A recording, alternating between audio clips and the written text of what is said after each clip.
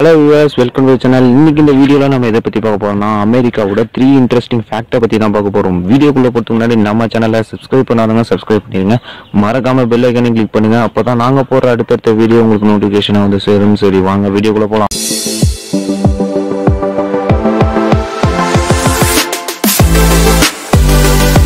First Missouri river south அமெரிக்காலேயே ரொம்ப நீளமாகவும் பெருசாகவும் இருக்கக்கூடிய ரிவர்னா அது மிசூரி ரிவர் தாங்க.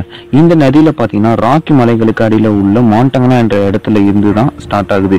அது மட்டும் இல்லாமல் ஸ்பெயின்லியஸ்ன்ற இருக்கிற இடத்துல மிசிபி ரிவர் கூட சேர்ந்து கிட்டத்தட்ட மூவாயிரத்தி எழுநூற்றி இருபத்தி ஏழு கிலோமீட்டர் அளவுக்கு இந்த நதி ஓடிக்கிட்டு இருக்குங்க. அது மட்டும் இல்லாமல் இந்த நதியில் போக்குவரத்தில் இருந்து குடிநீர் நீர்ப்பாசனம் அது மட்டும் இல்லாமல் நீர்மின் சக்தி தயாரிக்கிற வரைக்கும் இந்த மிசூரி ரிவரில் பல வருஷங்களாக ஒரு முக்கிய பங்காக இருக்குன்றத மறுக்க முடியாத விஷயமா இருக்குது அகைன் வாஷிங்டன் டிசி அமெரிக்காவோட தலைநகரம் எதுன்னு கேட்டால் நம்ம டக்குன்னு வாஷிங்டன் டிசின்னு தானே சொல்லுவோம்.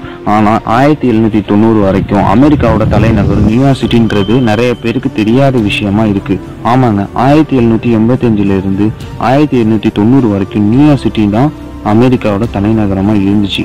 பட் இப்போ நியூயார்க் சிட்டி அமெரிக்காவோட தலைநகரமாக இல்லாட்டியும் கிட்டத்தட்ட எட்டு மில்லியனுக்கும் மேற்பட்ட மக்கள் அங்கே வசிக்கிறன்றது இங்கே நம்ம கவனிக்கக்கூடிய விஷயமா இருக்கு. இந்த ஸ்டாட்யூ ஆஃப் லிபர்ட்டி அமெரிக்கானால எல்லாருக்கும் டக்குன்னு ஞாபகம் வரக்கூடிய விஷயம்னா அது இந்த ஸ்டாட்யூ ஆஃப் லிபர்ட்டி தாங்க.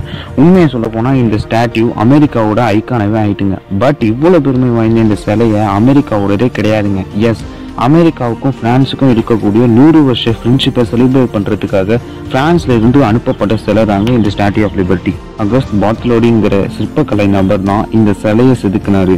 இந்த சிலையை டிசைன் பண்ண குஸ்தேவ் ஈஃபல் தான் பாரிஸ் சிட்டியோட அடையாளமான ஈஃபல் டவரை டிசைன் பண்ணாருன்றது இங்கே கவனிக்கக்கூடிய விஷயமா இருக்கு.